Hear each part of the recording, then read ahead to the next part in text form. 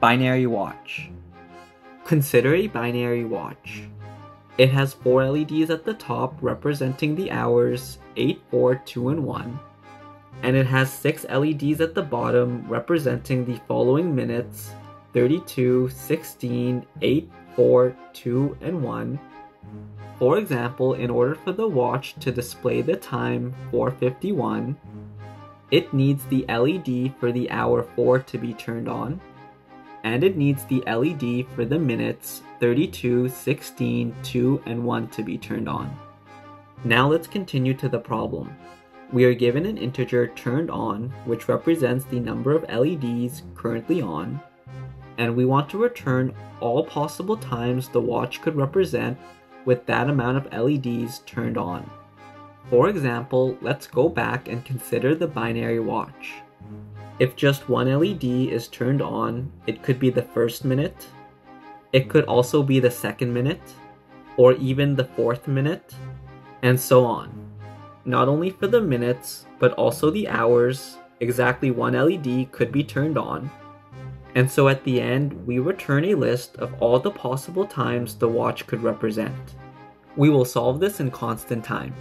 The key to solving this problem is noticing that the LEDs given for the hours and minutes are powers of 2, and consider the binary representation of these numbers. Notice the binary representation of a power of 2 only has one bit set, and so the number of bits set will correlate to the number of LEDs needed to be turned on in order to produce a time.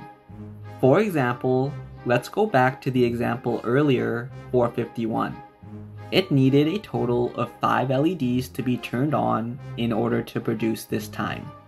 Similarly, if we were to count the number of set bits in the binary representation for the hour, and add that to the total number of set bits for the minutes, the total number of set bits would equate to the total number of LEDs being turned on, in this case, 5. So the idea is to iterate through all the possible hours in the range 0 to 12 and have an inner loop to iterate through all the possible minutes in the range 0 to 60 and calculating the total number of bits that are set by taking the hour bits and adding it to the minute bits. And if the total number of bits that are set are equal to turned on, and so we could produce the specific time with the number of LEDs, so we added to result.